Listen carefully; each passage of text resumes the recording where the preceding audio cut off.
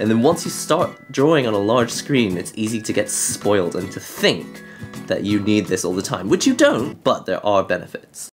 Hello and welcome to another Nihongo Gamer video. This is the biggest tablet I've ever unboxed. Alright, so I have here the Huion Kamvas GT191. Now, I've never used a Huion tablet before, but they were kind enough to send this one to me free of charge so that I can unbox it and review it for you. Of course, they did say that I can say anything I want in this review, which I will do. This is a 19 and a half inch drawing monitor, so you draw directly on the screen. There are cheaper tablets that you can buy where you draw on a screenless tablet and you look up at your monitor. But this one, you actually draw directly on the screen, which is great if you're coming from analog drawing and you want to be able to draw directly on the screen. Those of you who follow this channel will know that I already do other reviews for things like iPad Pro and also one second to get this over here. This is my Wacom Mobile Studio Pro. One of the main features that they were saying, selling on the Wacom Mobile Studio Pro is that this has a, a pen which is 8,192 levels of pressure sensitivity. Whether that makes a huge amount of difference, I don't know. But Huion, the company that is pretty much taking down Wacom by selling very similar stuff but at a much cheaper price, they are saying that this 19.5 inch tablet also has 8,192 levels of pressure sensitivity. I don't know any humans that know how to measure whether that's actually true or not, but something that we can test is how low the initial activation force is on this pen, and that's just a fancy way of saying how much pressure do you have to push to make your initial mark with a, a standard pencil. Where's my pencil? Here we go. With a standard pencil like this, you would just leave rest it very lightly on the paper and it would make a mark. But on a lot of tablets, you have to push quite hard to make that initial marking. For now, let's open this box and see how it looks. All right, so something I'm particularly excited about on this tablet is the fact that it's 19.5 inches diagonally, and I've never had a drawing tablet that big before. The largest tablet I've ever had was this. This is the 4x3 iPad Pro 12.9 inch device, and the Mo Mobile Studio Pro, just for comparison's sake, to show you, this, this is how big a 13 inch drawing tablet is. So it's going going to be significantly larger than this, and that's very exciting for me because then I can draw with a really large canvas and be able to rotate the screen. That may not sound very important, but usually when you have a page like this, once you rotate it, the corners run off the side of the screen and you can't see a lot of the things that you're drawing.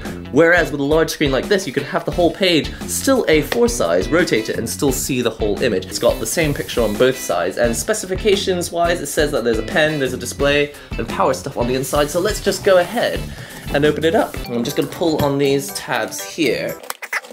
And it's got a really nice carrying case, which is which is great. What's this? you get a little greeting. It's in Japanese this time, but I'm pretty sure when they sell it in the West it'll be in English. Arigatou gozaimasu. Well, thank you very much. Let's pull this out of here.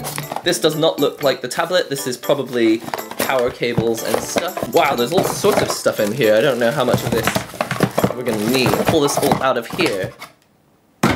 It's cool stuff that you will have a quick look at later. Stuff like this. This is the actual pen holder, I believe. I hope I haven't thrown the pen away yet. Where's the tablet? I just want to see the tablet. Come on. Looks like we're gonna have to stand up for this one. Okay. Oh dear.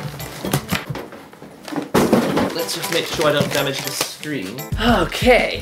So this is it. 19.5 inches. It's in like a Ziploc. This is exciting. Wow! Never opened a monitor in a Ziploc. Check this out, guys. 19.5 inches of drawing pleasure. Now actually it looks like there's a little stand in here, which I think we can attach to the actual thing. Woo! and a CD.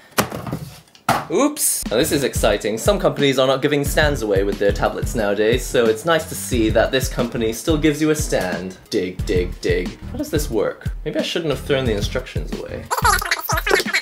Oh, hey! Now that's exciting. Looks like one of those exercise machines. So this is clearly going to stick on the back of the screen. Let's find out how that happens. Now I think that's what these screws are for. I've just realised that this screwdriver came inside the box. I just want to use this tablet. I don't want to be screwing things anymore. That's what she said. Alright. Ha ha ha. TV.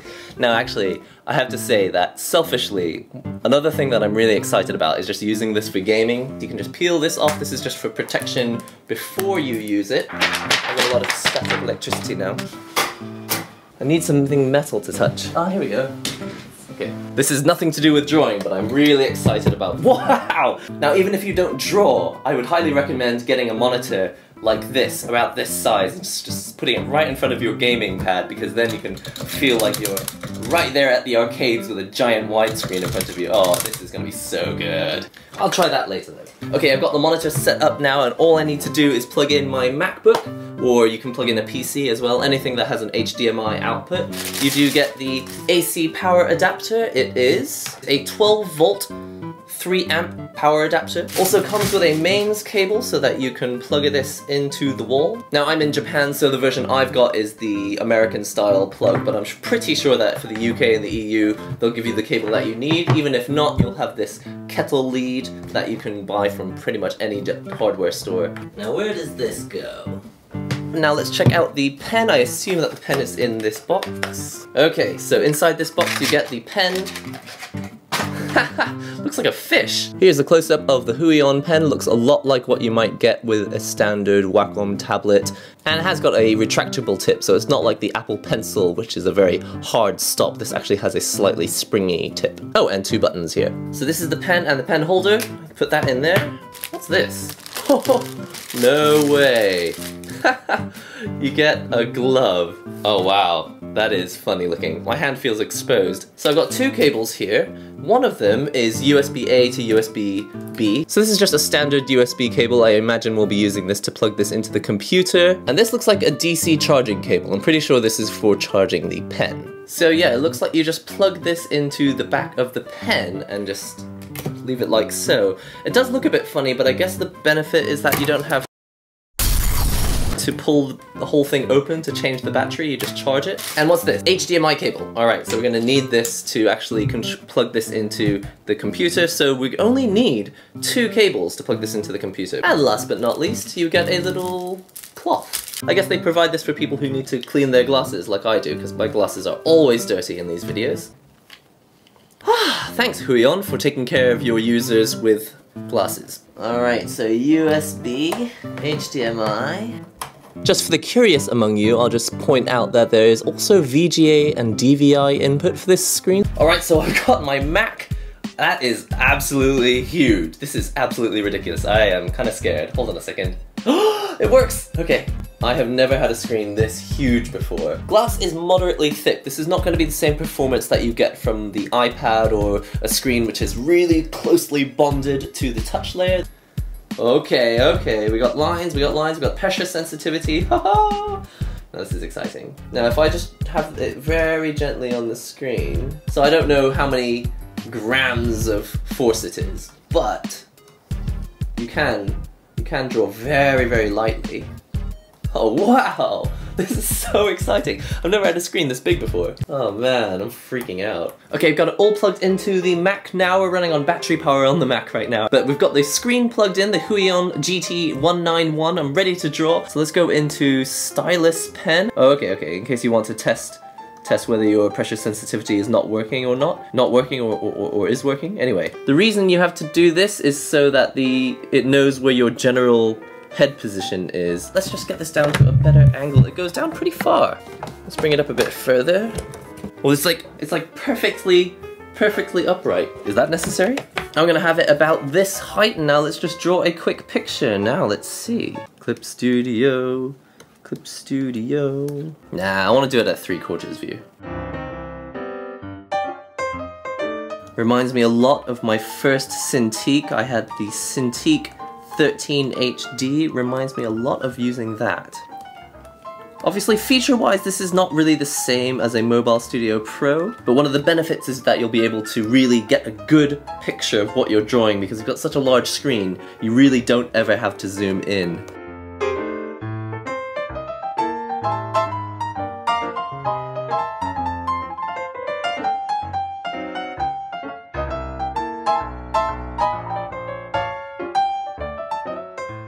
Man, drawing on such a large screen is so luxurious. I'm spoiled. The thing with large screens is that if you're used to a, a, small screen, you don't really know what you're missing out on, and then once you start drawing on a large screen, it's easy to get spoiled and to think that you need this all the time, which you don't. You don't need a large screen all the time, but there are benefits.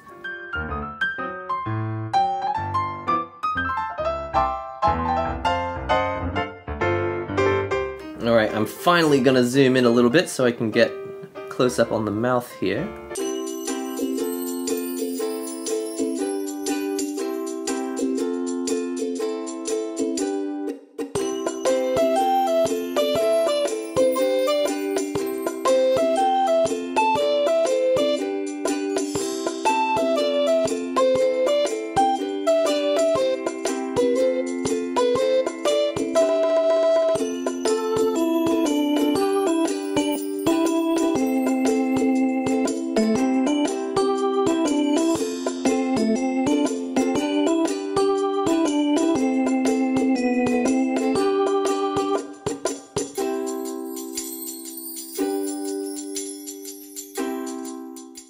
I think that's gonna have to do for now. I wasn't actually planning on drawing this much, I just wanted to do a quick pencil sketch and it clearly does work just fine.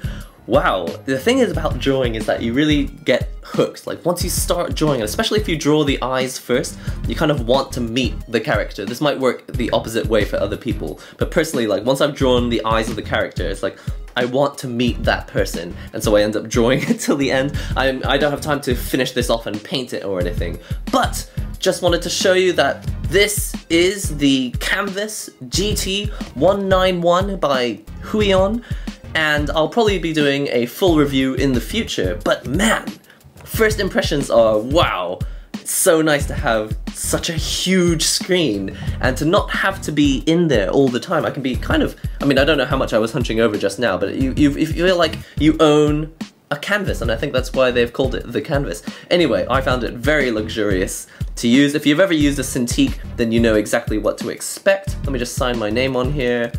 Nihongo Gamer. So anyway, not a full review just yet, but I just wanted to show you that clearly it does work and it's good fun. I love drawing, man, this is so much fun.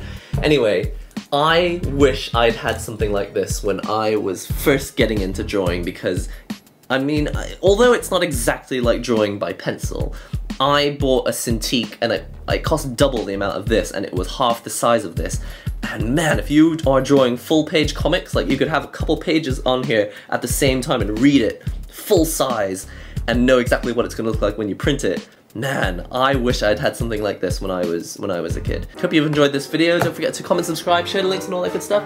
And I'll see you in the next Nihongo Gamer video or the review for this when eventually I've had time to actually use it and figure out how much I like it. I'll see you in the next Nihongo Gamer video. Goodbye.